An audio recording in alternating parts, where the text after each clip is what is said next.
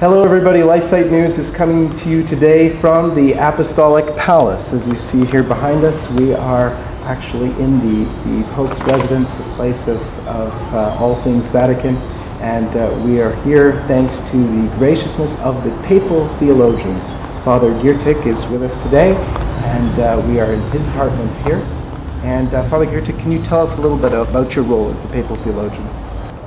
There is a long-standing tradition in the Holy See from the Middle Ages that there is a Dominican within uh, the papal court or within the Holy See uh, with the task and the, the office of the papal theologian. It used to be known as the master of the sacred palace. And the most important uh, mission that I have here is that all the speeches which are written for the Pope, before the Pope receives them, they have to be checked. And within the procedure of the speech writing, the papal theologian has to ensure that the text is acceptable. And then, of course, the Holy Father is free to ad lib, to add, to change, to drop. To, but nevertheless, the idea is that what he's given, what is prepared for him, is also theologically correct. And so that's the reason why I live here in the Apostolic Palace. And, and my my mission is basically that. Of course, there are other things which I'm doing as well, but that is the, the fundamental reason. Beautiful. Beautiful. Now, what, uh, in terms of your own background, what, what gets you to this spot? What kind of uh, education and, and things like that? Well, I think what, what got me into this spot is a pure decision of the Holy Spirit. You know, I was not working to, striving to be given this position.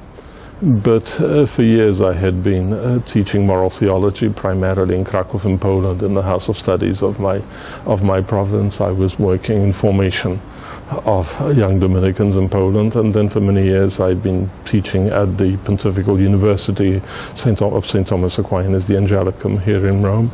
And I'd been a member of the General Council of the Order, first as being responsible as the socius of the Master of the Order for Central and Eastern Europe, and then for intellectual life, so dealing with the paperwork between the various academic institutions of the Order and the Holy See. And that was due to end, and I was called to this position, and so here I am.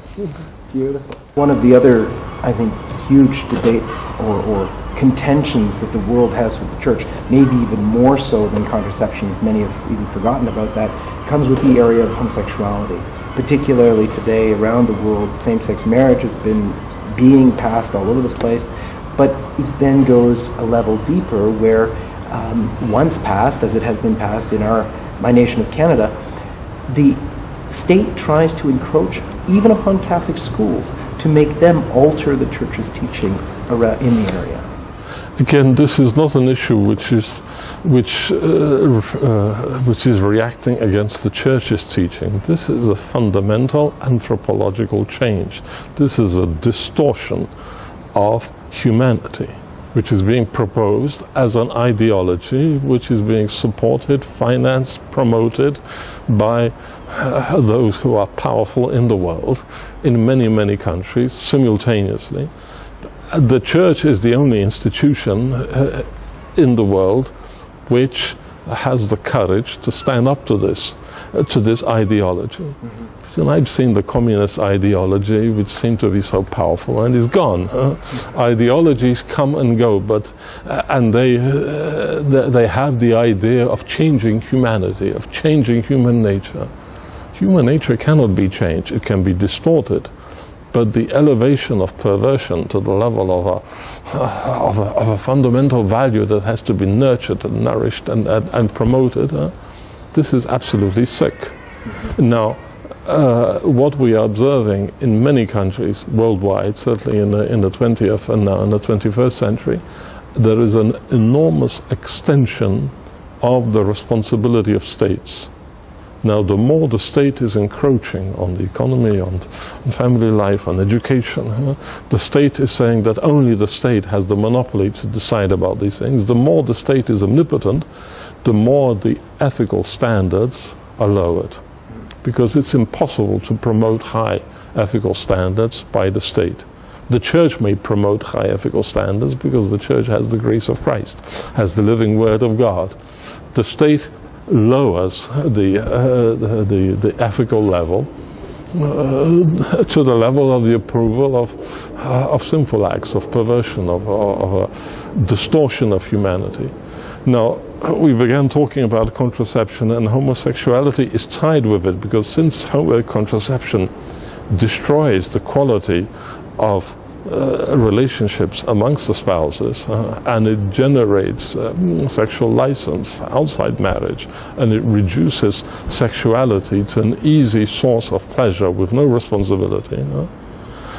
That pleasure without responsibility, without love, is never satisfying. And it generates, like a drug, it generates a hunger for even more pleasure, which is even more not truly satisfying, not giving ultimate happiness. And so there is a search for more perverted types of, of sexual pleasure, which, which can never fulfill the human person. Huh? Mm. So homosexuality is a, is a distortion. Huh? Now, of course, many people uh, fall into this trap for various reasons, and not necessarily for a fault of their own. Huh? There are people who are emotionally fragile because they come from broken families, because contraception and abortion has destroyed families, has generated divorces. Uh, people who are born uh, and unloved and, and not formed well, not nourished, they are emotionally fragile and they easily, they easily fall prey to sexual deviations. And uh, it's not a question of assessing their culpability. Sometimes maybe they're not culpable they've been drawn into it. So certainly, uh, I think we can say that the, the, percentage of people who have this problem is greater maybe now than in the past. And of course, they had to be treated with dignity. Everybody has to be treated with dignity, and even sinners have to be treated with dignity. But the best way of treating people with dignity is to tell them the truth. And if we escape from the truth, uh, we're, not, we're not treating them with dignity. And so homosexuality is against human nature.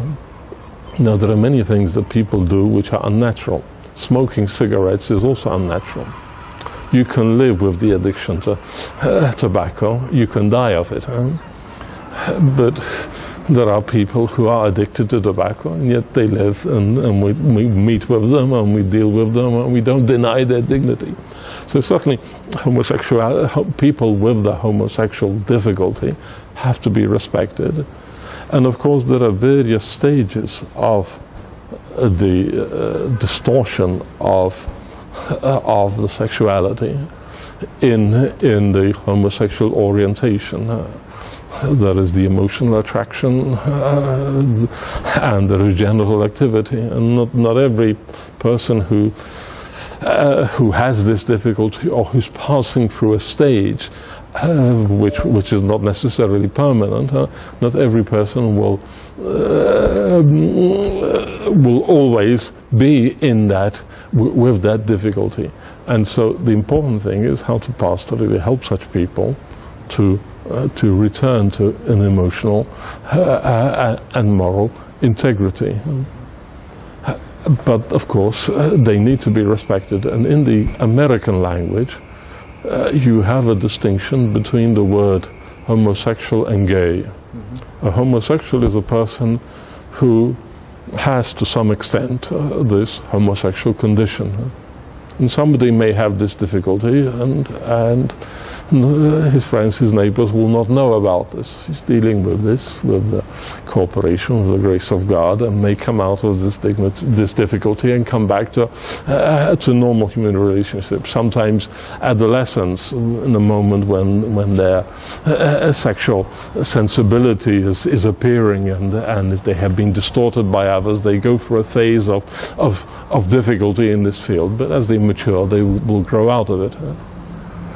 Uh, whereas a gay is somebody who says, I am like this, I will be like this, I want to be treated like this, and I want special privileges because I am like this. Uh, now, if somebody is not only a homosexual, but a gay, declaring, this is how I am, and this, I want this to be uh, respected legally, uh, socially, and so on, such a person will never come out of the difficulty. You know? The important thing is when somebody has a, a homosexual tendency is to tell such an individual this is not everything that you are. There are many other qualities in you which are good. You may be an artist, you may be a writer, you may be good in your work, you may be a sportsman, you know, you're, you're charitable. There are many aspects of your being.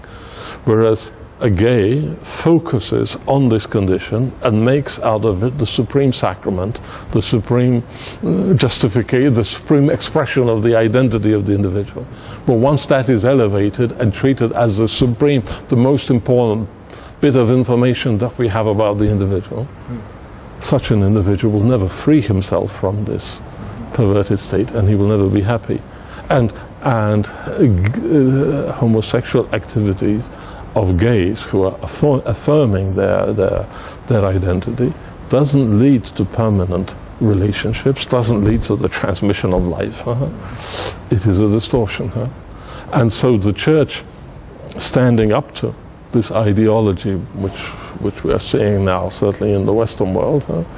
the church is saying something very normal and, and humane, which corresponds to, to, to, the understanding of humanity, which humanity has had for millennia, long before Christ, long before, long before the appearance of Christianity. So it's not a question of the church fighting the ideology. It's a, it's a question of a distortion of humanity and the church standing up in defense of human dignity. And the church, because the church is focused on Christ, and in Christ the divinity and humanity are tied in one, uh, in one person, the two, two natures. So in Christ we are seeing the human nature on its supreme level as it is elevated, glorified from within by the divinity. And so by focusing on Christ, uh, we have the supreme answer about anthropology about pedagogy, about psychology, about morals, you know. Christ shows us a humanity which is supremely transformed from within by the divinity. Now we have access to the grace of God through our faith, through the sacraments. And by living out the grace of God, that grace of God heals whatever distortions we may have, whatever difficulties we may have, on the condition that we initiate, we commence the pilgrimage, we start the journey of living out our lives with the grace of God.